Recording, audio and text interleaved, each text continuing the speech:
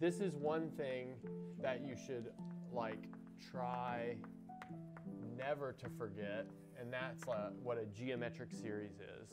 And so that's a series of the form a plus a times r plus a times r squared, then an infinite sum, right? And so if we were to write that down, it would be the sum as n goes from zero to infinity of a times r to the n.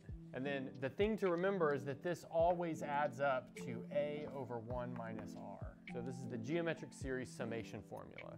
So we're going to get a lot of stuff out of this, like if you take 1 plus x plus x squared plus x cubed plus x to the fourth, dot, dot, dot, that's going to sum to 1 over 1 minus x. And this is like not for all values of x. This is when x is less than one, there's this thing called the radius of convergence. So I would say like, if you're gonna remember a couple of things about power series, the geometric series and how to like nimbly work with geometric series is super important. Like all be built off of this formula right here. So another thing would be like one plus x over three plus x squared over nine plus x cubed over 27 plus dot dot dot. So in general, that would be the sum as n goes from 0 to infinity of x to the n over 3 to the n. That would be an example of that, right? So notice that that is this right here, but the common ratio is x over 3, right? Notice to get from one term to the next term, you always multiply by x over 3.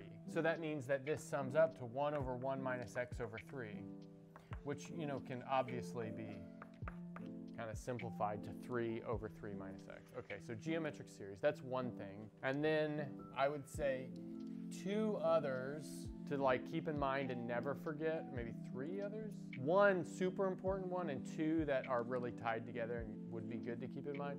So one of them would be the power series for e to the x which is the sum as n goes from 0 to infinity of x to the n over n factorial. That's also really important. And so that would be like 1 plus x plus x squared over 2 factorial plus x cubed over 3 factorial plus x to the fourth over 4 factorial, so on and so forth. So that's another one that's super important.